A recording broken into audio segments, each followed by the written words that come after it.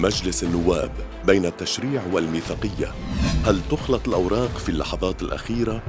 الحكومة بين الأزمات والتسويات المعلقة هل ترحل النفايات؟ وما هي الخطوات البديلة؟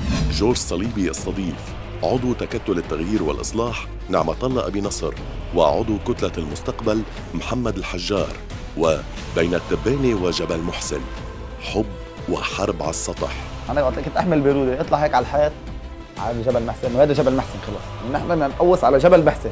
ضمن الأسبوع في ساعة الأحد التاسعة ونصف مساء على الجديد.